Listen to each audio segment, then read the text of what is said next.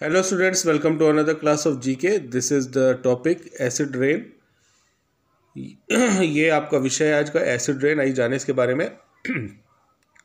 Acid rain is a kind of acid deposition it can appear in many forms wet deposition is rain sleet snow और fog that has become more acidic than normal जो acid rain होती है या कहा जाए कि जो acid की जो वर्षा होती है, वो कई तरीके से होती है, जो कभी अलग अलग तरीक़ों से दिखाई देती है।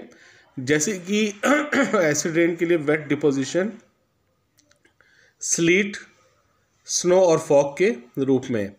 Dry deposition happens when dust particles and gases become acidic in nature ये जब एसिड जो होता है, जब गैस जो होती है, जब ये इसके साथ डस्ट पार्टिकल के साथ मिल करके गैस फॉर्म करती है तो ये एसिडिक नेचर का काम करने लगती है। This deposition of acid rain and gases has black and many monuments and historic buildings और इसकी वजह से, ये एसिड रेन और गैसेस की वजह से बहुत से ऐतिहासिक जो बिल्डिंग्स थी और इमारतें थीं उसको बर्बाद कर दिया। आइए जाने उसके बारे में। फ़र्स्ट वन यहाँ पे क्लूज दिए हुए ऊपर, और इसी में से क्लूज में से लिखना है। Acid rain cause due to the large number of oil refineries and industries acid rain का कारण जो है, जो आसपास के जो हिस्से हैं मॉन्यूमेंट्स के बिल्डिंग्स के, जहाँ पे फैक्ट्रीज हैं और रिफाइनरीज हैं, उनकी वजह से होता है, उसके पॉल्यूशन की वजह से। Around this area reacts with the marble of this monument और इस मॉन्यूमेंट की जो मार्बल है, जो संगमरमर को उसने जो है, इस एसिड रेन ने बर्बाद कर दिया, बरैया बर्बाद कर रहा है। Make it dull and pale इसको जो रंग है, जो सफ़ेद बिल्कुल, उसको कम कर दिया और उसका जो है मटमैला सा रंग हो गया। अब मटमैला नहीं कहेंगे, हल्के पीले रंग का हो गया। इसका नाम है इस मॉन्यूमेंट का। ताजमहल जो इंडिया में है। Come to the second acid rain seeps through the fissures in the rocks अब एसिड रेन इस वाले जो है बिल्डिंग uh, में या कहा जाए कि इस मॉन्यूमेंट में जो है दरारों के द्वारा रिश्ता हुआ uh, जाता है।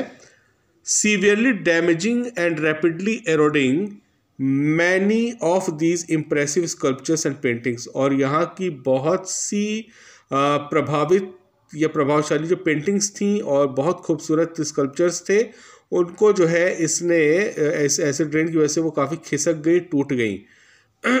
और इस जगह का नाम है लॉन्गमैन ग्रोटॉस चाइना का।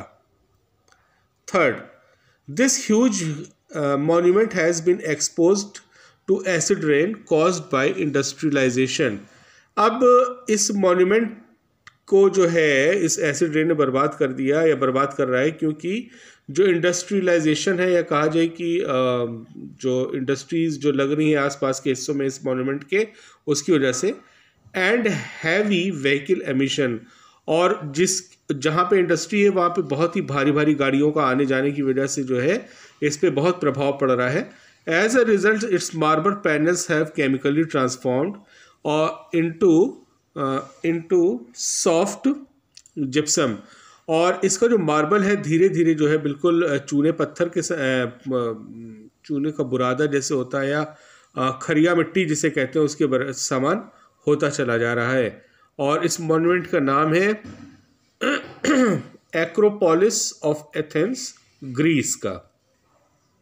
Fourth acid rain has led the to the loss of silicate minerals अब जो एसिड रेन है, इस जगह को जो है, इसने जो है, इस मार्बल के जो कॉलम्स हैं यहाँ का, उस पर चढ़ी परत को जो सिलिकेट, उसको उसने बर्बाद करना शुरू कर दिया। Of this memorial due to this the marble has become weak और इसकी वजह से जो लगा हुआ जो संगमरमर का पत्थर है, वो बिल्कुल कमज़ोर होता चला गया। और इसका नाम है फोर्थ वाले का जेफरसन मेमोरियल यूएसए का। Fifth industrial expansion has led to acid rain जब इंडस्ट्रियलाइजेशन uh, बढ़ा तो उसकी वजह से एसिड रेन बढ़ गया। That has begun to erase almost twenty five percent of rock area with the most sensitive area of art work और जो आर्ट वर्क के जो आसपास का जो 25 परसेंट का जो चट्टानी इलाका है वो वो जो है इंडस्ट्रियलाइजेशन की वजह से हटा दिया गया। और इसका नाम है इस मॉन्यूमेंट का Dampier Rock Art Complex Australia next is botanical garden या कहा जाए कि एक ऐसा गार्डन जो बॉटनिकल हरा भरा गार्डन है ये, और इसके बारे में आइए जाने।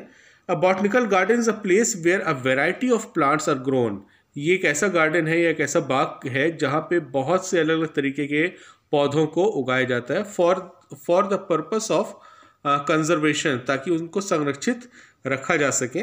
रिसर्च एंड एजुकेशन उसको संरक्षित जो है वो उस पर रिसर्च और उसके ऊपर शिक्षा देने के लिए रखा जाता है। Here are some famous botanical gardens यहाँ पे दुनिया भर के अलग अलग फेमिकल फ़ेमस बॉटनिकल गार्डन्स हैं। आइए जाने इनके बारे में। It is the oldest surviving botanical garden located in Washington DC ये सबसे पुराना बॉटनिकल गार्डन है जो वॉशिंगटन डीसी यूएसए में स्थित है और इसका नाम है US botanic garden second it is an internationally important botanical research and educational institution located at London UK और ये बॉटनिकल गार्डन जो है लंदन यूके में स्थित है और इसका नाम है Royal Botanic Garden third it is located in the Curitiba state of Parana it is the major tourist attraction of the city ये शहर का टूरिस्ट अट्रैक्शन में से सबसे मुख्य कहलाता है और ये जो है क्यूरेटिबा पैराना में स्थित है। इसका नाम है botanic garden of Curitiba fourth it is a botanical garden located in Coimbra ये कोयम्बरा में स्थित है ये बॉटनिकल गार्डन जो पुर्तगाल में है। It occupies thirteen hectares of land ये तेरह हेक्टेयर के ज़मीन पर फैला हुआ है और इसका नाम है botanical garden of the university of Coimbra. Fifth it is the largest botanical garden in Australia ये ऑस्ट्रेलिया का बहुत सबसे बड़ा बॉटनिकल गार्डन है मैनेज बाय द डोमेन जो डोमेन के द्वारा मैनेज या देख रेख में रखा जाता है, किया जाता है और इसका नाम है फिफ्थ वाले का the royal botanical garden, Sydney. Six it is the largest museum with more than ten thousand different plants. ये बहुत बड़ा म्यूज़ियम है बॉटनिकल गार्डन का, जिसमें दस हज़ार तरीके के अलग अलग पौधे पाए जाते हैं।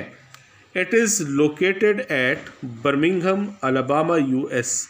ये अलाबामा के बर्मिंगहम में, जो यूएस में है, वहाँ पे ये स्थित है।